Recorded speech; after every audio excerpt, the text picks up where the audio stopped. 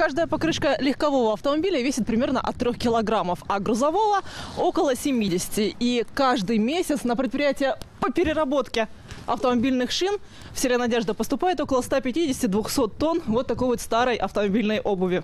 Сырье получают от шиномонтажек и транспортных предприятий. Или вот так, сбором выброшенных покрышек в городах и селах. Из утилизированных шин можно делать полезные вещи. Например, резиновое покрытие для детских и спортивных площадок или беговых дорожек. Загружают формы э, по весу, далее загружается подошвенная часть, и вс- все эти формы отправляются в гидропресс. В сжатом состоянии тележки отправляются в термокамеру, где э, происходит полимеризация полиуретанового связующего. В итоге получается вот такая плитка, э, плотность у нее около 1000 килограмм на квадратный метр, что позволяет ребенку упасть с полутора метров на нее и не получить травму. Такие небольшие, но полезные со всех сторон для региона предприятия в приоритете для Краевого министерства экономики. Более того, этот год в крае объявлен годом предпринимательства, чтобы активнее развивался сектор малого и среднего бизнеса.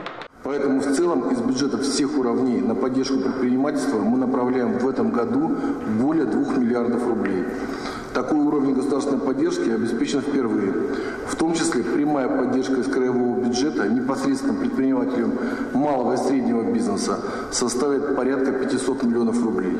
Вообще в крае 115 тысяч предприятий малого и среднего бизнеса. Подать заявку на субсидии может каждая из них. Приоритете, поясняет глава Краевого Минэкономразвития, производственники. Субсидии, называемые 50 на 50, когда компенсируется до 50% затрат на а, приобретение оборудования. Это компенсация затрат а, по лизингу, это социальная поддержка, поддержка социального предпринимательства, прямые субсидии до 5 миллионов рублей. А, в первую очередь будут направлены на частные дошкольные образовательные учреждения и субсидии на поддержку сельхозкооперативов. Предприниматели уже активно интересуются условиями получения субсидий. Ожидается, что прием документов начнется в апреле-мае. Тем, кому понадобится совет в их оформлении, помогут в местных администрациях.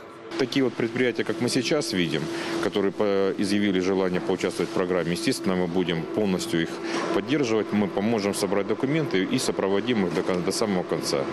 Ирина Ивановская, Сергей Трегубов, Николай Попов, Ставропольское телевидение.